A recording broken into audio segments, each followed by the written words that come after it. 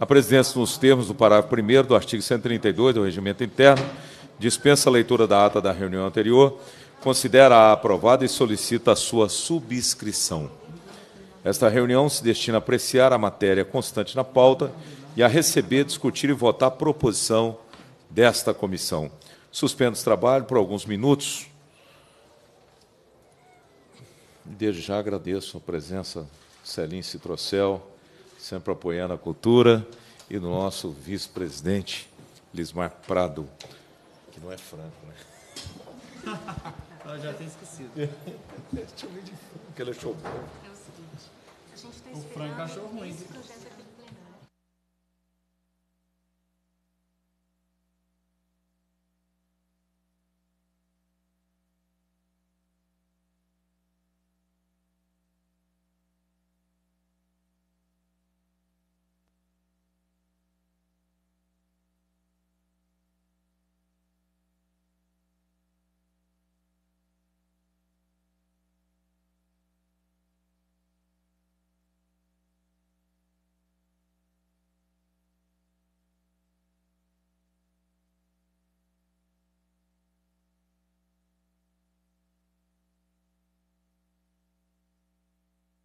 Só volta para esse projeto, Ok, ok? tranquilo, tranquilo. Então, a gente Retira de faz- pauta, né? Retira de pauta. Retira de pauta, ok.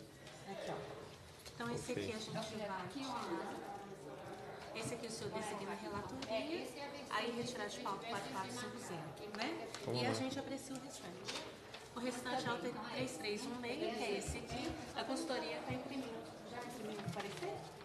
Essa aqui é o que a Ana sugeriu para o senhor ler, tá? Do Felipe Thier. Ok, ok. Ok, vamos embora, vamos nessa. Aí, esse que está cortado aqui, esse e esse aqui não foram publicados os pareceres. Então, a gente vai retirar também.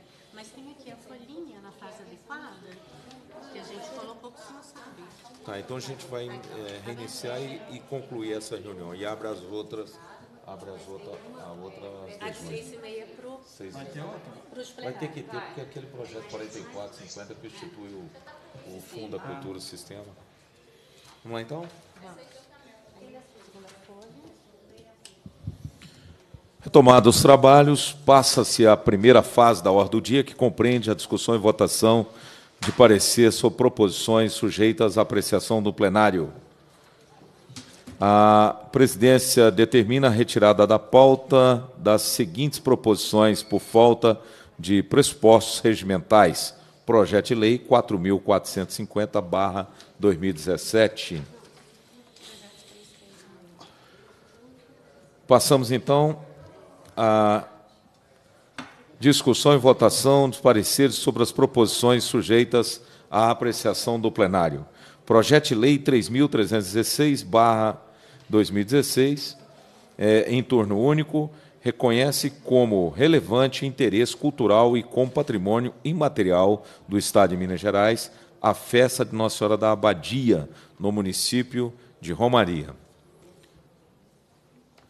como relator do referido projeto. Esse projeto de autoria do deputado Felipe Atier. Como relator, passo ah, o conhecimento, o nosso parecer. De autoria do deputado Felipe Atier, o projeto de lei 3.316-2015 reconhece como de relevante interesse cultural e como patrimônio imaterial do Estado de Minas Gerais a Festa Nossa Senhora da Abadia no município de Romaria. O projeto foi distribuído nas comissões eh, de Constituição, Justiça e de Cultura para receber parecer nos termos do artigo 188, combinado com o artigo 102 do Regimento Interno. A Comissão de Constituição e Justiça, em sua análise preliminar, concluiu pela constitucionalidade, juridicidade e legalidade da proposição em sua forma, na sua forma original. Cabe-nos agora apreciar o mérito da proposição, sobre a qual emitiremos o parecer com fundamento no artigo 188 e 102 do Regimento Interno.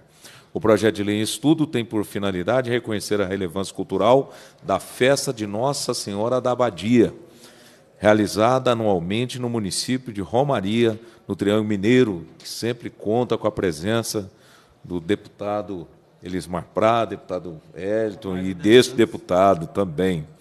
De acordo com o autor da proposição da festa em homenagem a Nossa Senhora da Abadia, celebrada na primeira quinzena do mês de agosto, completará 150 anos em 2020. O município de Romaria, originalmente denominado Distrito Nossa Senhora da Abadia, da Água Suja, mudou-se de denominação em razão da festa, que desde sua origem, na segunda metade do século XIX, atraiu um número significativo de romeiros das regiões próximas. Atualmente, o município recebe cerca de 500 mil visitantes a cada ano.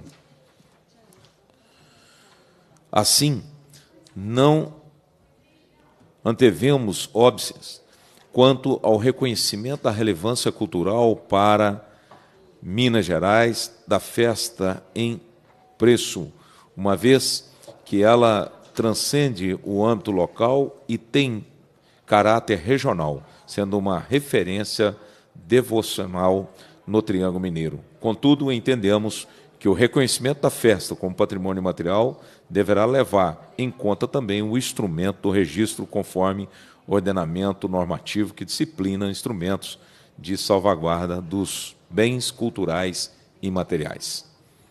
Diante do exposto, somos pela aprovação no turno único do projeto de lei 3.316-2016, na forma do substitutivo número 1, a seguir apresentado. Substitutivo número 1 reconhece como relevante interesse cultural do Estado a festa de Nossa Senhora da Abadia no município de Romaria. A Assembleia Legislativa do Estado de Minas Gerais decreta, artigo 1 fica reconhecido como de relevante interesse cultural do Estado a festa Nossa Senhora da Abadia, realizada anualmente durante o mês de agosto no município de Romaria. Artigo 2 compete ao Poder Executivo a adoção das medidas cabíveis para registro do bem cultural em que trata esta lei nos termos da legislação em vigor. Artigo 3 esta lei entra em vigor na data de sua publicação. Em discussão o parecer, não havendo deputado que queira discutir, passamos à votação. Senhores deputados que aprovam, permaneçam como se encontram. Aprovado o parecer e o substituto número 1. Passa-se a segunda fase da ordem do dia, que compreende a discussão e votação de proposições que dispensa a leitura à apreciação do plenário. Fica retirado também de pauta os projetos 37 e 26, ou seja, 3.726-2016 e 4.477-2017. Projeto de Lei 4.373, turno único, declara de utilidade pública a Associação Trem de Minas com sede no município de Lavras. Este projeto de autoria do deputado Fábio Xerém. Situação, parecer pela aprovação, tendo como relator o deputado Grai com Franco. Em discussão, não havendo deputado que queira se discutir, se manifestar, passa-se a votação. Senhores deputados que o aprovam permaneçam como se encontram. Este no processo nominal, então vamos consultar os deputados Celindo Citrocel, como vota? Deputado Celindo Citrocel, vota sim. Deputado Elismar Prado? Voto sim, presidente. Deputado Bosco vota sim, portanto, então fica aprovado o projeto de lei 4.373-2017. Projeto de lei 4.526-2017, turno único, declara de utilidade pública a Associação de Capoeira, Expressão e Arte, com sede no município de Teixeiras. Este projeto de autoria do deputado Rogério Corrêa, tendo como parecer pela aprovação, relator, deputado Carlos Pimenta. Em discussão, não havendo deputado que queira manifestar, passamos à votação. Os deputados tiverem pelo processo nominal, vamos consultar o deputado Elismar Prado. Voto sim. Deputado Celinho Cintrocel, vota sim, presidente. Deputado Bosco vota sim, portanto, então fica aprovado o projeto de lei 4.526-2017. Projeto de lei 4.568-2017, também turno único, declara de utilidade pública a Associação Cultural Ovirini, Carpintaria Cênica, com sede no município de Sete Lagoas. Esse projeto de autoria do deputado Douglas Melo, com parecer pela aprovação, tendo como relator este deputado. Em discussão, não havendo deputado queira se manifestar, passamos à votação nominal. Deputado Celinho Citrocel. Vota sim, presidente. Deputado Elismar. Sim, presidente. Deputado Bosco vota sim. Portanto, então fica aprovado o projeto de lei 4.568-2017. Projeto de lei 4.649-2017, em turno único, declara de utilidade pública a Associação de Artesãos e Produtores Caseiros de Caldas, com sede no município de Caldas. Este projeto é de autoria do deputado Ulisses Gomes, tendo parecer por esse deputado pela aprovação. Em discussão, não havendo deputado que queira manifestar, passamos à sua votação nominal. Como vota, deputado Celinho Celino Citrocel. Citrocel vota sim, presidente. Deputado Elismar Prado. Sim, presidente. Deputado Bosco vota sim, portanto, fica aprovado, então, o projeto de lei 4.649-2017.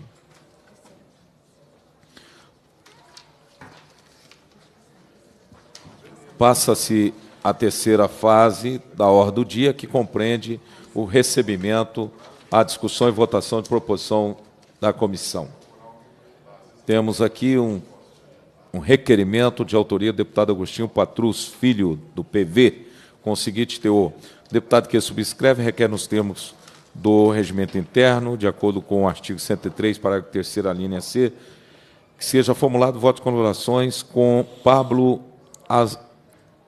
Oazen, Oazen, pelo título de campeão do concurso Masterchef Profissional 2017. Requer ainda que seja dada a ciência desse manifesto ao homenageado.